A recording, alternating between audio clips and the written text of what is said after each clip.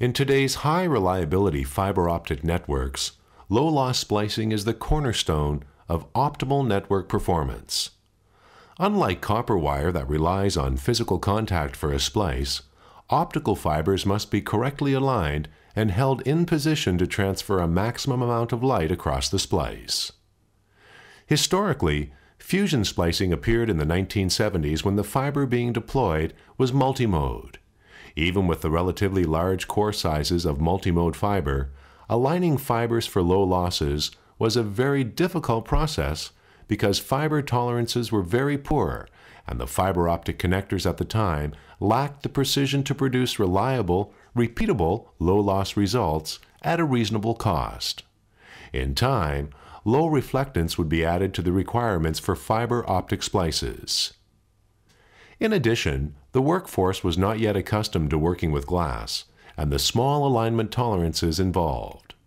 This required good eye and hand skills and provided challenges for the fiber optic technician working in the outside plant and its varying environments. The industry soon recognized that in order for fiber optics to become a viable transmission technology, high quality, reliable splicing techniques and equipment must be developed. The ultimate goal of splicing is to create a permanent, low loss optical joint with high mechanical strength and long term reliability. Ideally, the process should be fast, inexpensive, and should not require excessive skill to perform. First efforts included mechanical splices, which had the ability to be tuned for optimum alignment.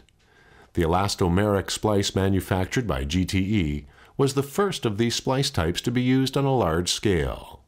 It was provided in two basic versions a lab splice for bare fiber access and a field version used for inline and pigtail splicing. As with copper networks, fiber systems would require cable splicing as well as fiber splicing, so other organizations such as Bell Labs, Corning, NTT, Sumitomo Electric, and Fujikura began working on methods of using fibers as opposed to mechanically holding the fibers together. The main challenge to their efforts was the poor mechanical tolerances of the fiber available at the time. These tolerances included the outside diameter, or OD, of the cladding, which were at the time 125 plus or minus 6 microns. Cores with plus or minus tolerances of 3 or more, the centering of the cores, and the ovality or how round the fiber was. These problems are magnified when splicing two fibers together which lead to enormous difficulties in developing equipment that could accurately align such fibers. What emerged from the research labs was a basic concept that is still used today in fusion splicing equipment. The idea was to place each fiber in a pair of V-groove fixtures with one fixture that could be moved in the X, Y, and Z directions. By passing light through the fibers and measuring the amount of light received across the junction, the fiber alignment could be optimized. When this is done, a small electric arc is fired which heats the fibers to their melting point, causing them to fuse together and form a permanent splice.